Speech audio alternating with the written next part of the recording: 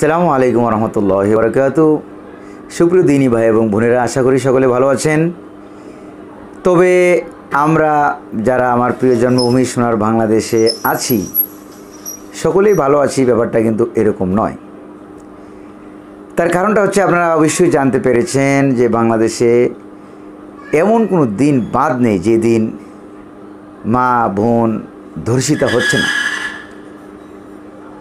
এমন কোনো দিন বাদ নেই যেখানে চুরি হচ্ছে না, এমন কোনো দিন বাদ নেই যে ডাকাতি হচ্ছে না। এমন কোনো দিন রাত যাচ্ছে না যেখানে দুর্নীতি হচ্ছে না। আসলে একটি দুজকের চাইতে আরও খারাপ পরিস্থিতি তৈরি হয়ে গিয়েছে? তার জন্য মূলত দায়ী কে? তার জন্য মূলত দায়ী হচ্ছে আমরা, দেশের জনগণ, দেশের সবাই দায়ী। কারণ কি আমরা নামমাত্র ইসলাম, কিন্তু ইসলামকে আমরা পরিপূর্ণভাবে পালন করতে আমরা রাজি না। এই জন্যই আমরা ধরা খেয়ে গিয়েছি। অথচ ইসলামকে যদি আমরা পরিপূর্ণভাবে পালন করতাম, তাহলে অবস্থাটা কি হতো? আমাদের জন্ম থেকে শুরু করে মৃত্যু পর্যন্ত, রান্নাঘর থেকে শুরু করে নিয়ে পার্লামেন্ট পর্যন্ত যদি আমরা ইসলামের অনুসরণ, অনুকরণ করতাম, রেসুল করিম সাল্লাহ ইসলামের আদর্শকে মান্য করে চলতাম, তাহলে অবস্থাটা কি হয়ে দাঁড়াতো? কোরআনে করিম আল্লাহ সুবাহ তালা বলছেন, ওয়ালাউ আন আহলাল কোরআ আমানু ওয়াত্তাকাউ, লাফাতাহনা আলাইহিম বারাকাতিম মিনাস সামাই ওয়াল আরদ। দেশ এবং জনপদের লোকেরা যদি আল্লাহ পাককে ভয় করে চলতো ইমান আনতো, তাহলে আকাশ এবং জমিন থেকে আল্লাহ পাক বলছেন, আমি অবশ্যই যাবতীয় উন্নয়নের দরজাকে আমি খুলে দিতাম। আসলে আজকে আমরা যেটা দেখতে পাচ্ছি উন্নতি নয়, সারা পৃথিবী এখন অবনতির দিকে যাচ্ছে। নৈতিকতার অব, অবক্ষয়ের দিকে সারা পৃথিবী আজকে এগিয়ে যাচ্ছে। তার কারণটা কি? তার কারণটা হচ্ছে ইসলামকে আমরা মান্য করতে পারছি না। আবারও কথাটা আমি রিপিট করলাম।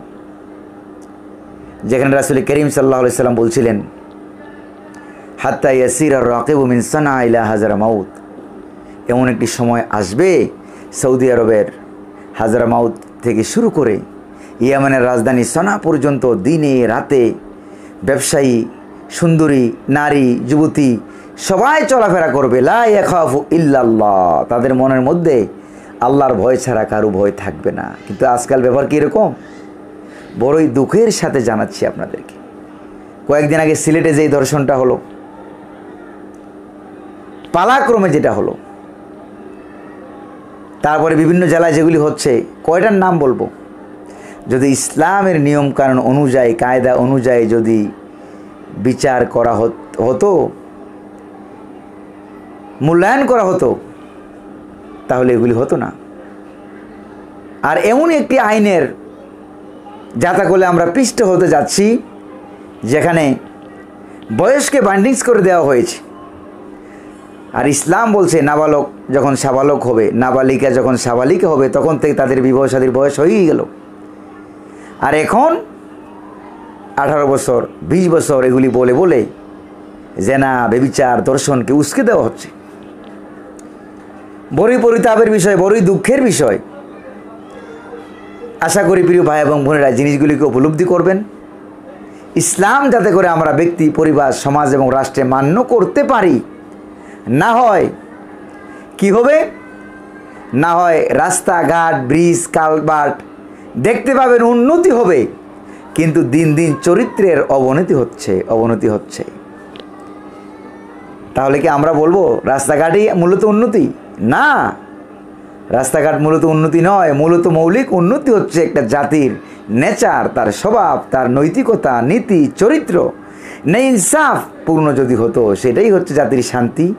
সেটাই হচ্ছে জাতির প্রশান্তি, সেটাই সম্পর্কে আল্লাহ সুবাহতাল্লাহ বলছেন, আতিনা ফিদ দুনিয়া হাসানা ওয়াফিল আখেরাতি হাসানা ওয়াকিনা আজাবান্নার দুনিয়ারও কল্যাণ চাই, পরকালও কল্যাণ চাই, জাহান্নামের আগুন থেকে মাপ চাই আল্লাহ সুবাহান ওয়া তালার কাছে। সেই ক্ষেত্রে আমাদের সচেতন গার্ডিয়ান বড়ই অভাব আজকে আমাদের দেশে। যারা এই দর্শনগুলি করছে যারা এই প্রিজিংগুলি করছে, তারা কিন্তু বাইরের দেশ থেকে এসে করছে না। তারা কিন্তু আমাদের দেশেরই সন্তান। কোথায় তার বাবা? কোথায় তার মা? কোথায় তার শিক্ষা? কোথায় তার সিলেবাস কোথায় তার লেখাপড়া? তাহলে আমি বলব, প্রত্যেকটি লেখাপড়া এডুকেশন সিস্টেমে প্রত্যেকটায় যদি নীতি, নৈতিকতা, ইসলাম, কোরআন সন্না শিক্ষাকে বাধ্যতামূলক করা হতো, পর্দাকে বাধ্যতামূলক করা হতো, তাহলে এই অপকর্মগুলো আমাদের দেশে ঘটতো না। আসলে যারা নারীবাদীর নামে অনেক কথা বলে, মানবাধিকারের ফেরিওয়ালা আছে কিছু আমার কিছু বিভিন্ন দেশে, তাদের কথাই বলি যে তারা পর্দা করলে পরে বুরকা পড়লে পরে টিটকারি মারে। আসলে ব্যাপারটা কি জানেন? সব শিয়ালেই কিন্তু মুরগির স্বাধীনতা চায়। কারণ শিয়ালে জানে মুরগিরা স্বাধীন হলেই পরে এদের কপাল ভালো হয়। এই ব্যাপারটা আমাদেরকে ভালো করে বুঝতে হবে। এবং ভালো করে প্রতিবাদ করতে হবে। আমি মনে করি শিশু থেকে শুরু করে নিয়ে যুবক, যুবতী, আবাল, বৃদ্ধ, বনিতা যারা রয়েছেন, সকলেই যদি একই সুরে, একই গাথায় ইসলামকে আমরা মান্য করে না চলি, তাহলে আমরা এই জাতীয় সর্বনাশ থেকে আমরা বাঁচতে পারব না। অন্য কোনো নীতি, মানব রচিত মতবাদ, যেটাই আপনি বলেন না কেন কালমার্কসের মতবাদ, লেনিনের মতবাদ, ধর্মনিরপেক্ষ মতবাদ জাতীয়তাবাদ, মানুষের তৈরি করা কোনো মতবাদ দিয়ে এই পৃথিবীতে কখনো জেনা, বেবিচার, চুরি, ডাকাতি বন্ধ হয় নাই। সোজা হিসাব। ইসলাম লাগবে ইসলাম লাগবে ইসলাম লাগবে। এই জন্য আমাদের উচিত ফিরে আসা ইসলামের দিকে। ফিরে আসা কোরআনের দিকে। ফিরে আসা রাসুল করিম সাল্লাহ আলাইসাল্লামের সুন্নাহের দিকে। আল্লাহ সুবাহ তালা যেখানে বলছেন, ওয়ালা তকরাবুজিনা জেনার বেবিচারের ধারে কাছেও যেও না। ধারে কাছেও যেও না। এখন কি করা হচ্ছে? কি পরিস্থিতি? সবাই জানে এগুলি, সবাই জানে। কিন্তু কেউ প্রতিবাদ করার মতো ওইরকমভাবে করছে না। ঐক্যবদ্ধভাবে যদি প্রতিবাদ করা না হয়, সকলেই যদি ঐক্যবদ্ধ না হয় এই জাতির কপালে আরও খারাপই রয়েছে বলে আমি বিশ্বাস করি। সুপ্রিয় দিনী ভাই এবং বোনেরা, সকলের জ্ঞাতার্থে কিছু কথা বললাম। আল্লাহ সুবাহানব তালা আমাদের সকলকেই এই কথাগুলো পালন করার তৌফিক দান করুক।